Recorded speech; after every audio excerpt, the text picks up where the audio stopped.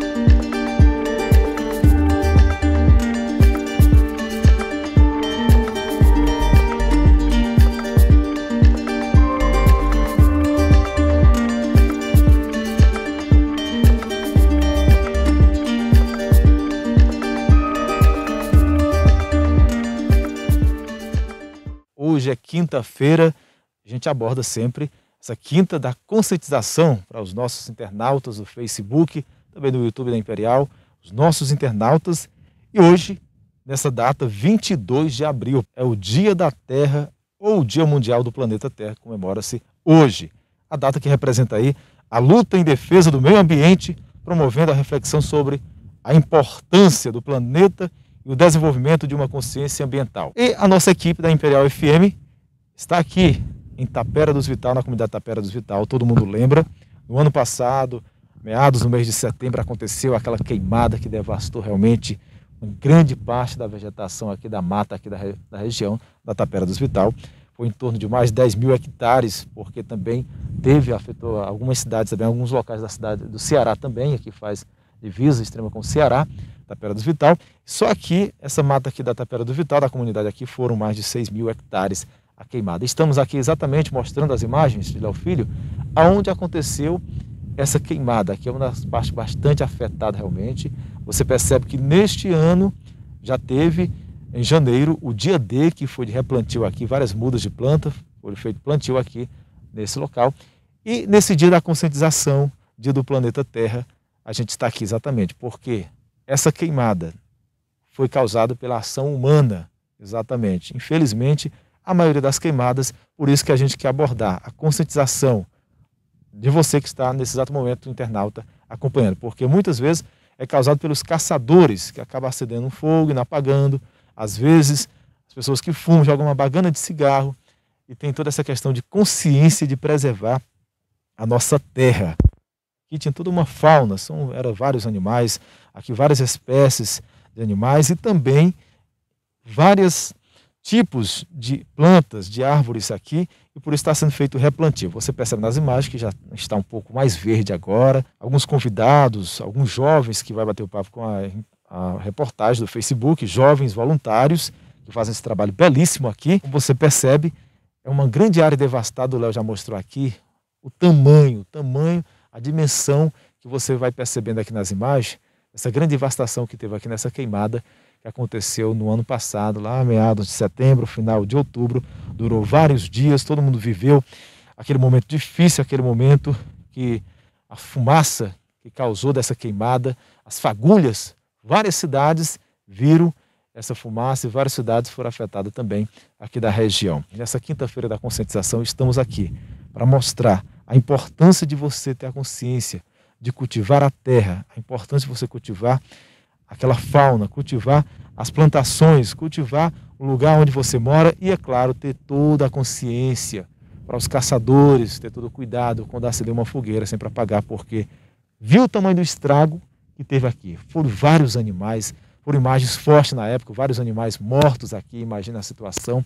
Realmente muito triste tudo isso. Nessa quinta da conscientização, a gente segue aqui, vamos conversar com o senhor Genivaldo. O senhor Genivaldo um morador aqui da comunidade Tapera do Hospital e desde o início acompanha de perto esse momento, esse momento de muita dificuldade para a população, para a região aqui de Tapera do Hospital. Senhor Genivaldo, o que falar nesse momento, assim, nesse, nessa quinta-feira da conscientização? Estamos aqui exatamente no local onde teve o dia D. É claro que queremos ver muito mais verde aqui, porque foi um momento muito difícil no ano passado com essa queimada aqui, né? É, com certeza, né? Dia da consciência do nosso planeta, né? Eu queria dizer assim, né? Que toda a população, né? É, se conscientizasse mais para respeitar a nossa mãe terra, né? O nosso planeta.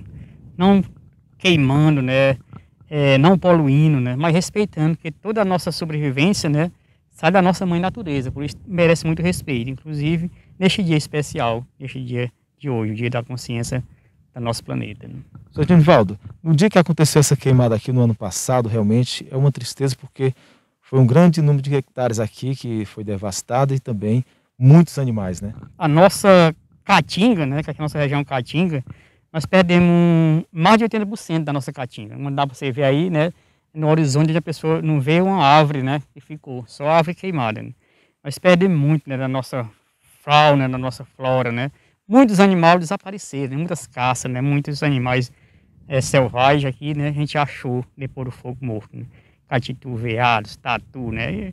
Já esse ano, em janeiro, teve o dia D, que foi várias entidades se reuniram aqui, fizeram aquele replantio de várias, várias mudas de plantas aqui, plantas né, nativas aqui da região, típicas aqui da região, e a gente hoje já vê um trabalho já começar a crescer, foi plantado aquele dia, a gente já começa que algumas plantas, algumas árvores aqui já estão crescendo, algumas mudinhas, já é um sinal de vida, já é a questão da esperança para a terra, para a vida, né? É com certeza, né? Naquele dia você aqui foi uma grande mobilização, naquele dia chegamos a plantar umas, mais de 3 mil árvores, né? E depois já fizemos mais uma plantação, estamos chegando a 4 mil árvores, né? Nós estamos com um projeto chamado Renascer, nosso objetivo é chegar a 10 mil mudas, né? E para isso a gente precisa de muita de ajuda, né? Do nosso parceiro, como você na divulgação, né? Para ajudar nesse nosso trabalho, para ajudar a nossa natureza, a nossa mãe terra a se desenvolver, né? Porque é, os invernos aqui são um pouco abaixo da média, né? E pela natureza mesmo, né, essa, essa raizinha que a gente vê que sai o broto, ela não desenvolve muito, né? E as plantas que a gente, a gente plantou é diferente das que estão renascendo é, pela própria natureza, né? Porque ela demora muito a se desenvolver. A gente precisa muito ajudar a nossa mãe terra, a nossa natureza a se desenvolver. E aqui a gente percebe porque aqui é uma grande área realmente devastada, era uma era área de caatinga, tudo era virgem nessa né, mata aqui, e hoje a gente vê começar a florir, começar a nascer daqui. Isso é um trabalho que demora para as pessoas que estão aí acompanhando, que queiram continuar participando desse projeto Renascer. Como deve fazer? É, quem quer ajudar, né, nós temos parceria né, com o Centro de Formação Madacaru Pedro II, né, com o sindicato, com o SERAC, né? A pessoa que quer ajudar de uma certa forma ou de outra, né? Com semente, né? Com mudas, né? É deixar essas entidades. Quiser também fazer aqui para o seu plantio, plantar uma planta aqui, né? A gente agradece muito, né? Através dos meios de comunicação como está sendo divulgado, né? Chega a muitas pessoas. Vamos ajudar a nossa mãe terra. Vou conversar com um jovem aqui, é o Lucas, isso mesmo, o Lucas. Lucas, queria que você falasse aqui para nós como é que é o trabalho dos jovens voluntários aqui da região. É, o trabalho aqui é um trabalho de amor à natureza, né? E nesse dia, o Dia Mundial, né? A gente busca é, intensificar mais ainda esse amor que a gente tem com a natureza. Como aqui foi uma área bastante devastada na nossa região, é de recatingar. A palavra que a gente carrega é recatingar. Intensificar mais ainda é, a recatingada é, da nossa área aqui, que foi uma área muito afetada para trazer uma melhoria de vida, é, não, não só para a nossa fauna, mas também para a nossa flora. Um trabalho bem amplo, né? Tem dias que vai depender também da questão do, das chuvas, que a gente está aproveitando esse período chuvoso para fazer o replantio, é, para que as, as plantas nativas é, possam ter aquela sustentabilidade de enraizar no chão para poder crescer. Então tem semanas que é duas vezes por semana, é, tem semanas que é todo dia, isso varia muito dependendo da questão da chuva. principalmente no dia D, a gente recebeu é, muitas doações, né, de mudas é, de sabiá, é, podói, essas é, árvores nativas, né, do, da caatinga. E também a gente tem um trabalho importante que a gente sai na colheita de pequenas mudas, transplanta para o sago para ter o processamento até ela chegar ao ponto de plantar aqui nessa área, né? A gente faz também essa busca. Procura na, na, na mata aqui mesmo na mata, na mata mesmo, em alguns pequenos locais que não foram queimados, né? Que a gente conseguiu desviar o fogo e a, em alguns lugares até apagar o fogo, a gente ainda encontrou algumas sementes e também essas pequenas mudas que estavam nascendo. Tá legal, muito obrigado, Lucas. É, faz parte aí dos jovens voluntários aqui da Tapera dos Vital. A gente está recebendo, inclusive, alguns jovens aqui que estão participando desse momento, Dia do Planeta dia da nossa conscientização e, é claro, sempre abordando essa temática de você ter a consciência de respeitar, de saber como se comportar na sociedade. Porque a gente vai conversar aqui com a jovem, mais uma jovem, a Ana Maria. Ana Maria também, que faz parte aí dos Jovens Voluntários. Ana Maria, nos fale aí desse momento de você estar participando dessa recatingagem aqui na região da Tapera dos Vital, esse momento muito importante para a comunidade.